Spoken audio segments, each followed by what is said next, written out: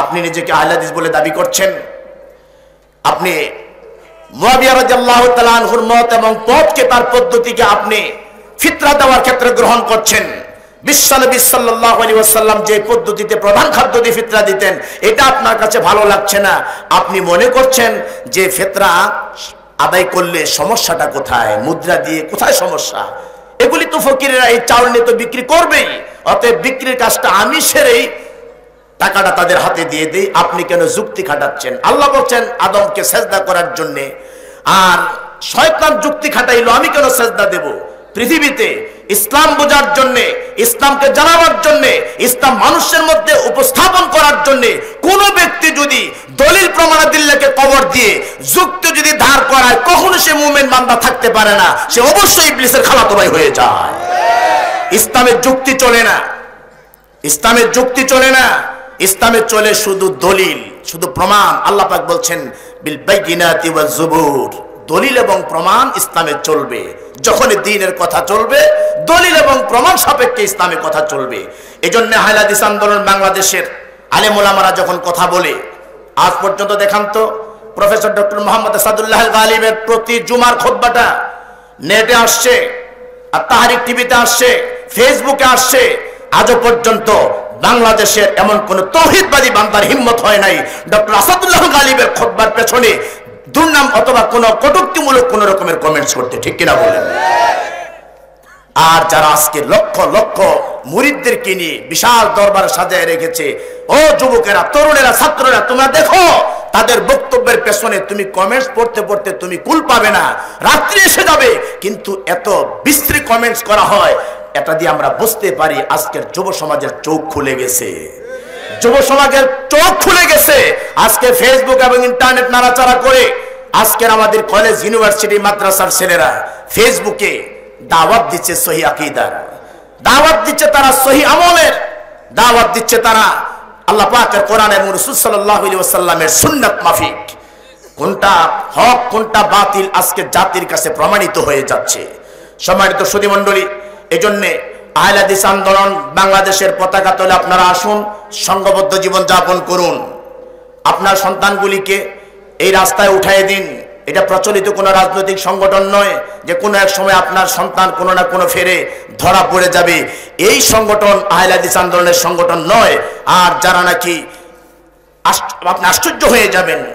আহলাদিস আন্দোলনের মোহতারাম আমির জামাত দুই হাজার পাঁচ অথবা চার সালে সম্ভবত উনি জিহাদের উপরে কিতাব রচনা করেছেন, কিতাব লিখেছেন, জঙ্গিবাদের উপরে কিতাব রচনা করেছেন। আর উনাকে শেষ পর্যন্ত এই অপরাধে, অপরাধী সাজাইয়া এই বাংলার মাটিতে মামলা দায়ের করা হয়েছে। আল্লাহ হকের পক্ষে এজন্যে এই মামলা থেকে তিনি বেকুসুল খালাস পেয়েছেন, আলহামদুলিল্লাহ পড়েন। আজও চায় আহলাদিস আন্দোলনের ছেলেরা যেহেতু সম্পূর্ণরূপে কোরআন এবং সই হাদিসের মর্মমূল্যের থেকে জীবন যাপন করছে এই দোষে, এই জঙ্গিবাদের অপরাধ অপরাধ, অপবাদ তাদের উপরে চাপাই দিতে চায়। এই অপবাদ তাদের উপরে চাপাই দিতে চায়। আপনারা যারা মুরব্বী শ্রেণির মানুষ আছেন, আপনি যদি মনে করেন আপনার ছেলে আইলাদিস আন্দোলনের পতাকা তুলে আসলে পরে কোনো না কোনো একদিন জেএমবির অপরাধে, অপবাদে ভূষিত হবে অথবা ঝামেলায় পড়ে যাবে।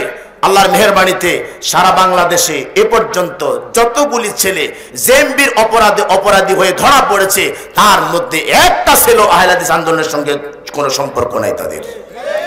একটা ছেলেও নাই। সেজন্য আপনাদেরকে অনুরোধ করব, এই কুমিল্লা জেলার মানুষ আপনারা যারা আছেন, আপনারা সংঘবদ্ধ জীবন যাপন করবেন। জি, একটা পিপিলিকার দল জি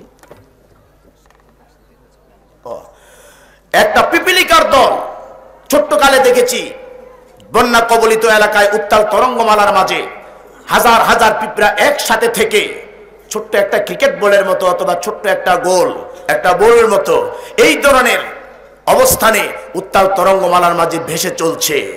সংঘবদ্ধ জীবনযাপনের কারণে উত্তাল তরঙ্গমালার আঘাতে পিঁপড়াগুলি মরছে না। সংঘবদ্ধ জীবনযাপনের কারণে তারা পানির মধ্যে ভেসে চলছে, তাদের জীবন বাঁচানো তাদের দ্বারা সম্ভব হয়। সংঘবদ্ধ জীবনযাপন আজকে পৃথিবীর যত গোষ্ঠী বলেন, যত জাতি বলেন, সব জাতি সব সব গোষ্ঠী এবং বাংলাদেশের সব সেক্টরে সংঘবদ্ধ জীবনযাপন আছে। ইতর মেতরের মধ্যে সংঘবদ্ধ জীবন আচরণ আছে। মুসির মধ্যে সংঘবদ্ধ জীবন যাপন আছে। রিক্সার ড্রাইভার এবং সিএনজি ড্রাইভারদের মধ্যে ট্রাক ড্রাইভারের মধ্যে সংঘবদ্ধ জীবন যাপন আছে। আর সেই সংগঠনের সংগঠনের ভাত, চাউল খেয়ে যাদের গদ্দান মোটা হয়েছে, আজকে বাংলাদেশের প্রত্যন্ত অঞ্চলে তারা বলে সংগঠন করা যাবে না, সংগঠন করা হারাম। সম্মানিত সুদী মণ্ডলী সংগঠন যদি হারামে হয়, আল্লাহ পাক এর পক্ষে কেন কোরআন আয়াত নাজিল করছেন? বলতে কুমিন কুম উম্মাহ তোমাদের মধ্যে এমন একটি দল থাকা চাই। দল কখনো এককভাবে হয় না। এর একজন আমির লাগে, কিছু মামুল লাগে, একনিষ্ঠ কিছু কর্মী লাগে। তা আমরুনা বিল মারুফি ওয়া তানহাউনা আনিল মুনকার। ওই দল তারা কাজ করে, দুই দফা, এক দফা হচ্ছে তারা মানুষদেরকে ন্যায়ের দিকে ডাকে এবং অন্যায় অপরাধ থেকে মানুষদেরকে বিরত রাখে। এমন একটা দল থাকা চাই। ওয়া উলাইকা হুমুল মুফলিহুন। আল্লাহ বলছেন, ওই দলটাই হচ্ছে সফল কামী দল। আল্লাহ যেখানে সংগঠনের কথা বলেছেন, আল্লাহ যেখানে দলের কথা বলেছেন, আল্লাহ যেখানে সংগঠনের কথা বলেছেন, আজকে আমি বড় মুফতিও বলছি, সংগঠন করা যাবে না। সম্মানিত সুদী মণ্ডলী এজন্যে আল্লাহ রাব্বুল আলামিনের বক্তব্য, উদখুলু ফিস সিলমি কাফা তোমরা পরিপূর্ণভাবে ইসলামের মধ্যে প্রবেশ করো। ওয়ালা তাত্তাবিউ খুতুওয়াতিশ শাইতান শয়তানের পদাঙ্ক অনুসরণ করো না। আয়াত হাদিস যারা হবেন, তাদের প্রত্যেকটি সেক্টরে তারা কোরআন এবং সহি হাদিস মেনে তারা তাদের জীবন চালাবেন। এমন কোন সেক্টর নাই, দিক নাই, বিভাগ নাই, এমন কোন আমল নাই যে আমলটা আয়াত হাদিসের লোকেরা কোরআন এবং সহি সুন্নাহ মোতাবেক চালায় না। যখনই আপনি যে আমলটা করতে যাবেন, একজন হাদিসের মানুষ দেখে ওই আমলটা আমার রসুল কীভাবে করেছেন। এই জন্য বিশ্বনবী আল্লাহ রাব্বুল আলামিন বলছেন আমার রসুল তোমাদেরকে যা দিয়েছে, আমার রসুল তোমাদেরকে যা দেয়, তোমরা তাই গ্রহণ করো। আর আমার রসুল তোমাদেরকে যা নিষেধ করেছেন, তা তোমরা প্রত্যাখ্যান করো। এই পৃথিবীতে মানব চরিত্রে একজন মানুষের অনুসরণ কেবল মানুষেরা করে, তিনি হচ্ছেন নবী মোহাম্মদুর রসুল্লাহ সাল্লাহ আলহি ওয়াসাল্লাম। কেন বলেছেন? কেন বলেছেন? আল্লাহ রাব্বুল আলামিন বিশ্ব নবী সম্পর্কে বলছেন, ওয়ালাউ তাকাওয়ালা আলাইনা বাদাল আকাবিল ইয়ামিন, সুম্মা লাআখায সুম্মা লাকাতানা মিনহুল ওয়াতিন। আমার নবী যদি নিজের থেকে বানাইয়া কোনো কথা ইসলামের মধ্যে বলতো, আমার নামে কোনো কথা যদি বলতো, তো তাহলে আমি আল্লাহ আমার ডান হাতে তাকে ধরতাম।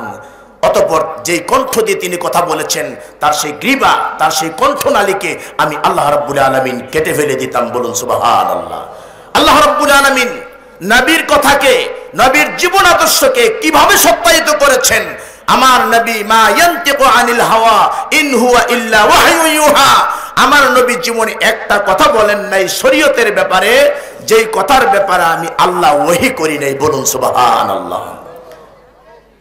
ভাই জালালউদ্দিন বলেছেন, আমাদের নেতা হচ্ছেন নবী মুহাম্মদ রাসূলুল্লাহ সাল্লাল্লাহু আলাইহি ওয়াসাল্লাম।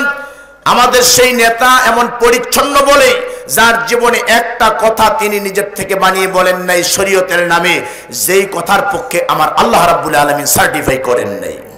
سبحانك اللهم وبحمدك أشهد أن لا إله إلا أنت أستغفرك وأتوب إليك. السلام عليكم ورحمة الله وبركاته.